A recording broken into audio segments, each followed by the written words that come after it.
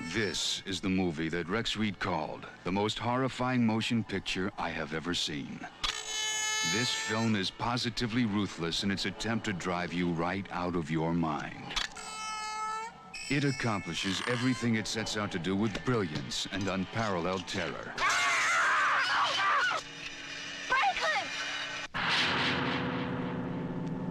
This is the horror movie to end them all.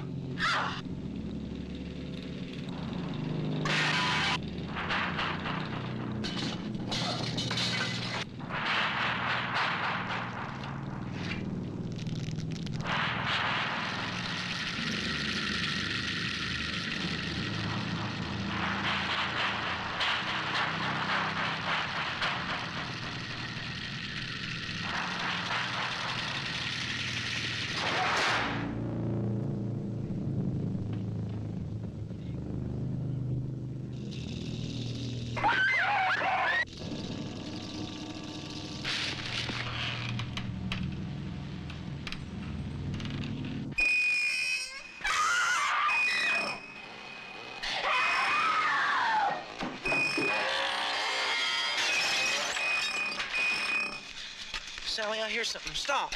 Stop.